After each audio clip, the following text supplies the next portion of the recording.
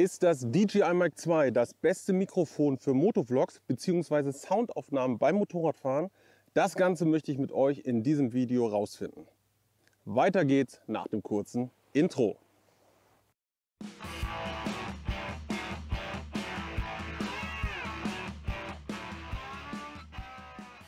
Und hiermit ein herzliches Willkommen zu meinem neuesten Video. Wir testen das DJI Mic 2 beim Motorradfahren. Bekommt man mit diesem Mic vernünftige Soundaufnahmen hin? Das ist die Frage, das möchte ich rausfinden. Ansonsten muss ich dieses Teil wieder zurückschicken und ich beende das Ganze mit Motovlogs, weil es mich einfach nur noch nervt. Was nervt mich? Mich nervt der Ton, der teilweise am Verzerren ist, weil die Stimme unterm Helm viel zu laut wird, weil der Motorradsound laut ist, weil die Windgeräusche laut sind und schlechter Ton in Videos. Ganz ehrlich, das guckt sich keiner an. Und wenn ich persönlich mir diese Videos nicht ansehe, schaut ihr euch das erst recht nicht an. Und deswegen ist das der neue Hoffnungsträger, um wirklich unverzerrten, guten Ton zu bekommen. Der Grund hierbei ist 32-Bit Float-Aufnahmen. Diese Aufnahmen sollen in 32-Bit ähm, ohne Verzerrung stattfinden. Ich habe das gestern schon ein bisschen zu Hause ausprobiert. Ja, scheint okay zu sein. Dennoch müssen wir es beim Motorradfahren testen. Nicht wundern, den Sound, den ihr jetzt hört, kommt nicht vom DJI Mic, der kommt hier von diesem Ulanzi Mikrofon. Das werde ich auch noch mal testen, ob das vielleicht auch für Motovlogs besser funktioniert als in meinen letzten Videos, denn da habe ich hier und da eine falsche Einstellung gemacht. Nun kommen wir aber zu diesem Mikrofon. Was kann ich darüber noch erzählen? Das Ganze hat eine Akkulaufzeit zwischen 5 bis 6 Stunden, je nachdem ähm, wahrscheinlich in welcher Aufnahme man es benutzt. 32 Bit, 24 Bit. Ich würde wahrscheinlich eher die 32 Bit Aufnahme bevorzugen, weil einfach besserer Ton. Diese 32 Bit sollen, so wie ich das erfahren habe, im Prinzip wie bei Fotos eine RAW-Aufnahme sein. Also der Sound liefert hier viel mehr Informationen, um einfach ein besseres Ergebnis zu liefern. Ein weiterer Vorteil dieses Mikrofons ist die drahtlose Verbindung. Bluetooth-Verbindung, ja, kennen wir, aber jetzt können wir das Ganze auch mit der Osmo Action 4 verbinden. Das ist dieses gute Stück, was ich mir letztens zugelegt habe. Da habe ich das mit dem Ulanzi-Mikrofon versucht beim Fahren Ton aufzunehmen über das Sena. Das ja hat funktioniert.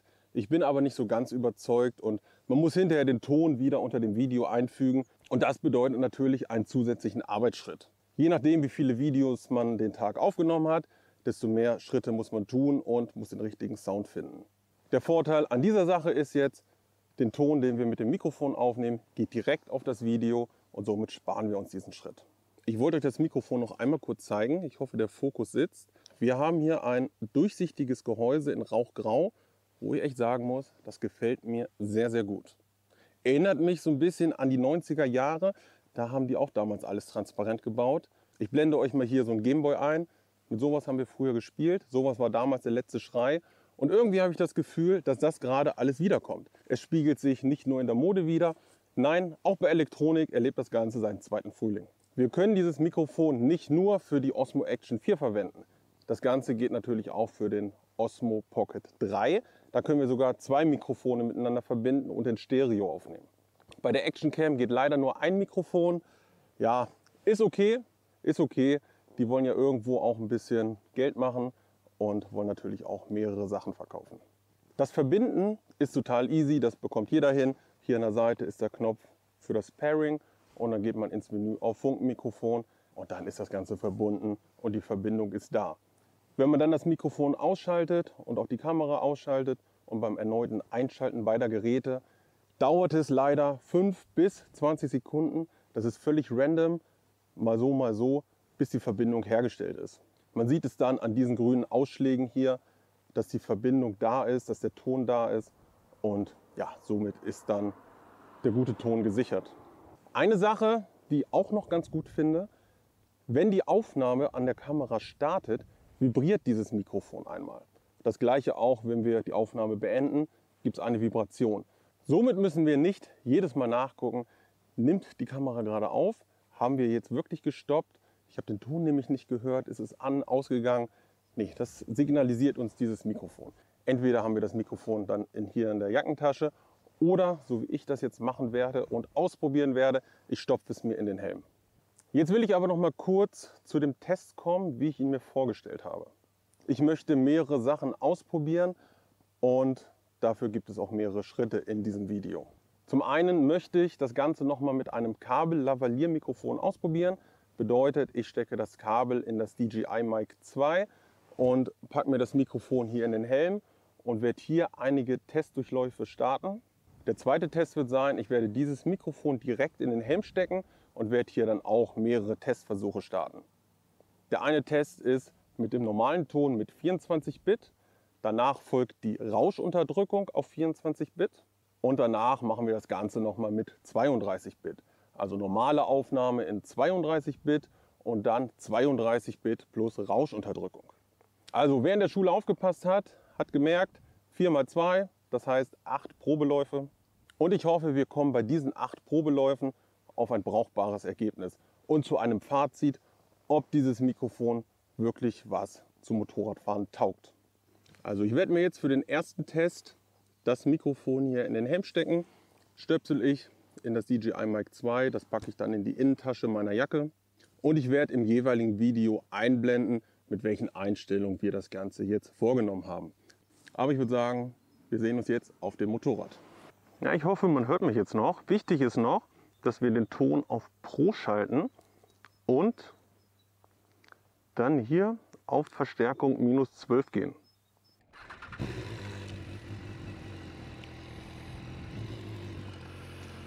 So, wir wären jetzt bei dem ersten Test. Mein Visier ist noch offen. Das werde ich aber gleich zumachen, weil ja, dadurch kommt natürlich auch noch Fahrtwind in den Helm und es hört sich eventuell nicht mehr so toll an. Jetzt mit geschlossenem Visier müsste sich das Ganze um einiges dumpfer anhören. Das Ganze nehmen wir jetzt auf 24 Bit auf, ohne Rauschunterdrückung. Und das Ganze mit dem Kabel-Lavalier-Mikrofon, was ich mir zusätzlich in den Helm gesteckt habe. Geschwindigkeiten machen wir jetzt mit Absicht nicht so hoch, weil man darf hier leider nicht so schnell fahren. Test 1, 2, 3, 4. Test 1, 2, 3, 4. Zwischen zwei Zwetschgenzweigen zwitscherten zwei Spatzen. So, dann würde ich auch sagen, das sollte eigentlich für einen ersten Eindruck genügen. Und wir machen jetzt die Rauschunterdrückung ein. Dafür müssen wir nicht unbedingt in das Menü von der Kamera gehen. Das Ganze geht auch hier über das Mikrofon, indem wir diese Taste einmal drücken, die Ein- und Ausschalttaste und dann leuchtet es grün statt blau und somit ist jetzt die Rauschunterdrückung ein. Ob sich das Ganze jetzt bemerkbar macht, testen wir auf dem Weg zurück. So, das Ganze haben wir nun mit der Rauschunterdrückung. Bin ich auf jeden Fall gespannt, ob das eine Auswirkung hat. Ähm, dann machen wir den nächsten Zungenbrecher. Blaukraut bleibt Blaukraut und Brautkleid bleibt Brautkleid. Ich habe das Mikrofon auf minus 12 gestellt. Das sollte man auf jeden Fall machen, damit es halt nicht zu laut aufnimmt. Und das machen wir auch in den gesamten Tests. Also wir pegeln es komplett runter, damit wir halt in jedem Test jetzt die gleiche Lautstärke haben. Das war der erste Versuch mit dem Kabelmikrofon, wie ich es bereits erwähnt habe. Falls man es jetzt nicht in der Aufnahme gehört hat, weil der Ton schlecht war, sage ich es hier nochmal. Das war das Kabelmikrofon mit 24 Bit Einmal ohne Rauschunterdrückung und einmal mit.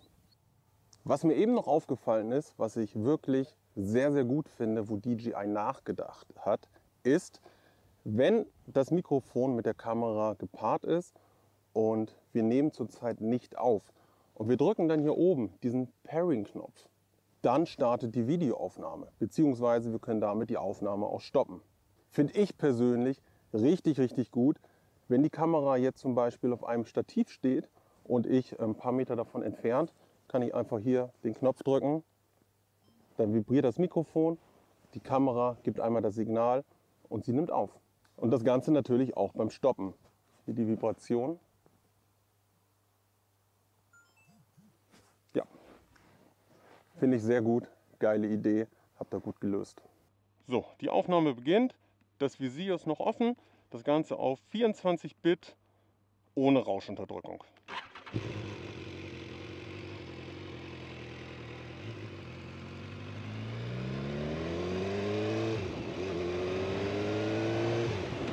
Ja, jetzt bin ich auf jeden Fall gespannt, ob jetzt überhaupt ein bisschen Ton von, von mir ankommt. oder ob es nur Windgeräusche sind. Deswegen wollen wir das Ganze jetzt mal zumachen. Und mit einem geschlossenen Visier sollte man ja ein bisschen Stimme hören. Vielleicht auch ein bisschen Auspuffsound. Ich bin auf jeden Fall gespannt, wie es hinterher in der Postproduktion aussieht. Aber dann wollen wir hier natürlich auch noch mal einen kleinen Zungenbrecher machen. Ähm, Braut, Brau, Braut, nochmal. Brautkleid bleibt Brautkleid und Blaukraut bleibt Blaukraut. Meine Güte, das sind ja wirklich heftige Zungenbrecher für mich. Jetzt machen wir die Rauschunterdrückung nochmal an. So, die Rauschunterdrückung ist eingeschaltet. Einmal kurz Kamera befestigen. Zack. Super Verschluss von DJI, gefällt mir richtig gut. Da muss man nicht schrauben wie bei GoPro, sondern diese Schnellverschlüsse sind echt Hammer. Also DJI ist, was das angeht, echt mein liebstes Produkt geworden. So, das Ganze jetzt mit der Rausunterdrückung und Helm ist noch offen. Aber mit offenem Visier fahren wir nicht. Wir schließen das beim Fahren. Habe ich jetzt komplett geschlossen. Bin gespannt, wie der Ton ist. Soll ich einen Witz erzählen? Hm. Ich kenne einen Witz von Onkel Fritz, der in der Badewanne sitzt und mit seiner Quietscheente spritzt. oh Mann, man muss sich echt immer irgendwas einfallen lassen hier. Jetzt haben wir die 24-Bit auf jeden Fall durch. Ich sag mal den schlechten Ton. Vielleicht ist der ja auch schon ganz okay, aber wir wollen jetzt auf 32-Bit wechseln. 32-Bit soll die neue Referenz sein und wenn man das hat, dann wollen wir das natürlich auch ausprobieren und nutzen, auch wenn es mehr Speicher braucht. Aber ja, wir wollen halt guten Ton haben. Hier zeige ich euch das Ganze, wie ich das nochmal am Helm gelöst habe. Ich habe hier oben so eine kleine Lasche, wo ich den Clip vom Mikrofon befestigen konnte. Finde ich eigentlich ganz gut und es ist auch wirklich bei diesem Helm nicht im Sichtfeld. Eine weitere gute Sache, das Mikrofon ist nicht direkt am Mund, was natürlich auch noch ein bisschen Lautstärke nimmt. Das Ganze läuft jetzt auf 32 Bit, minus 12 dB, ohne Rauschunterdrückung. Jetzt fahre ich wieder meine Strecke, dann machen wir die Rauschunterdrückung ein. Zuerst wieder mit offenem Visier, aber das schließen wir nach einer kurzen Runde. Also ich bin auf jeden Fall froh, dass das DJI Mic so in meinen Helm reinpasst. Jetzt wollen wir aber hier das Visier schließen, damit ihr mich hoffentlich besser versteht. Also ich bin wie gesagt sehr froh, dass ich das Mikrofon ohne ein zusätzliches Kabelmikrofon in den Helm bekomme. Warum? Ja, ganz einfach. Diese ganze Kabelgedöns braucht man nicht. Und wenn es ohne funktioniert, ja klar, dann machen wir das ohne Kabel, weil es natürlich alles mehr Gewicht ist und alles mehr Krempel und alles äh, baumelt da irgendwie rum und man muss es festkleben. Und da habe ich persönlich echt keine Lust drauf. Ich möchte das so einfach wie möglich haben. Jetzt werden wir die Rauschunterdrückung einschalten. Dafür muss ich auch die Aufnahme gar nicht stoppen. So, Jetzt ist die Rauschunterdrückung eingeschaltet. Bin ich auf jeden Fall gespannt, ob sich da was tut, weil diese Zubehörmikrofone, die mit Kabel sind, ja, die sind ja halt nicht. Ähm, das ist ja jetzt kein teures Mikrofon. Ich glaube, das hat ein paar Euro bei Amazon gekostet. Aber die Bewertungen von diesem Mikrofon sind ganz gut. Nur es lag bei mir bisher immer nur in der Schublade. Aber wie gesagt, ich möchte das Ganze ja so einfach wie möglich haben. Ich möchte am liebsten nur das DJI Mic 2 benutzen, packe es in den Helm, verbinde es mit der Kamera und habe den guten Ton. Und ich hoffe, dass der Ton auch gut ist, egal mit welchem Mikrofon. Mit dem Kabel-Mic oder einzig und allein mit dem DJI Mic. Jetzt habe ich die 32-Bit eingestellt ohne Rauschunterdrückung. Ich sage das extra Anfang des Videos, damit ich hinterher beim Schneiden nicht durcheinander komme. Das ist nicht, um euch zu ärgern, sondern für mich ist das jetzt die kleine Hilfe. Wir fahren natürlich auch erstmal wieder mit offenem Visier. Diesmal in die andere Richtung. Schauen wir mal, was da hinten so los ist. Und wenn wir ein bisschen auf Geschwindigkeit sind, machen wir das Visier gleich zu. So, da vorne werden wir drehen. und dann werde ich auch das Visier schließen. So. Jetzt sollte eigentlich auch noch ein bisschen Motorradsound ankommen, weil ja, die Rauschunterdrückung noch nicht eingeschaltet ist. So, wollen wir noch irgendeinen lustigen Witz erzählen? Äh, mir fällt gar nichts ein. Dann gibt es jetzt noch mal einen Zungenbrecher und zwischen zwei Zwetschgenzweigen zwitscherten zwei Spatzen. Ja, das, ähm, ja, mehr fällt mir auch nicht ein. Ja. Hätte ich mir vorher vielleicht ein bisschen was im Internet raussuchen müssen, aber naja. Jetzt habe ich alles in der Kamera eingestellt, was geht. Wir haben die 32 Bit, wir haben die Rauschunterdrückung an, wir haben das Ganze auf minus 12 runtergepegelt und jetzt sollte eigentlich, jetzt müsste perfekter Ton sein. Das hoffe ich natürlich, dass wir auch irgendwie noch ein bisschen Motorradsound drauf haben, aber wahrscheinlich wird das alles weggedrückt, was im Prinzip ja gar nicht schlecht ist, weil wir wollen ja diese störenden Geräusche nicht drauf haben. Wobei für uns Motorradfahrer ist Motorradsound kein störendes Geräusch, oder?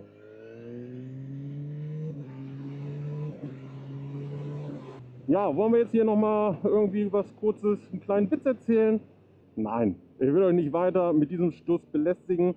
Wir machen einfach 1, 2, 3 Test, 1, 2, 3 Test und gucken, ob der Ton vernünftig ist.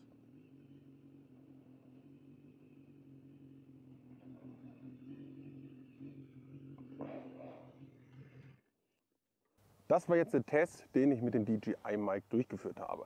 Einmal mit dem Kabellavalier, was man hier in die 3,5 mm Buchse reinstecken kann und einmal das pure Mikrofon im Helm. Wir werden gleich bei mir im Büro das Schlussfazit ziehen, aber wenn euch das Video bis hier schon gefallen hat, lasst gern ein Abo da, lasst gern ein Like da, teilt auch gern das Video mit euren Freunden, die sich vielleicht auch dieses Mikrofon zulegen möchten. Falls ihr das gesehen habt, mein Kanal ist recht am Anfang. Ich habe den nochmal von Grund auf neu gemacht. Dieses Mikrofon selber gekauft, sowie die restliche Ausrüstung, habe ich mir auch alles selber zugelegt. Da ist kein Sponsoring oder so. Das ist alles aus eigener Tasche finanziert.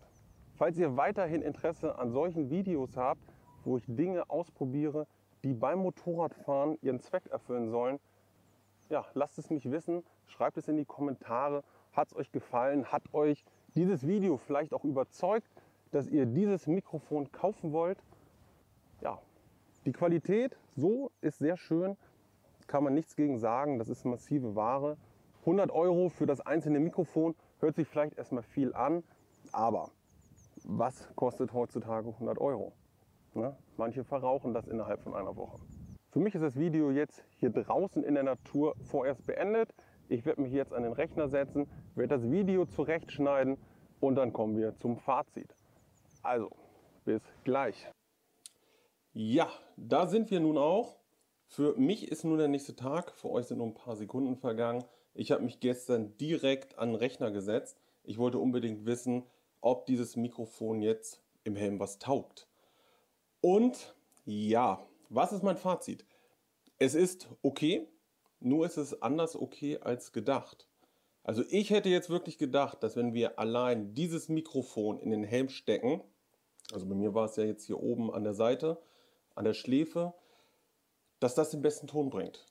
Dass das Lavalier-Mikrofon, also das Kabelmikrofon, was wir hier reingesteckt haben, einfach nur viel zu laut ist und übersteuert. Aber nein, das absolute Gegenteil ist eingetroffen.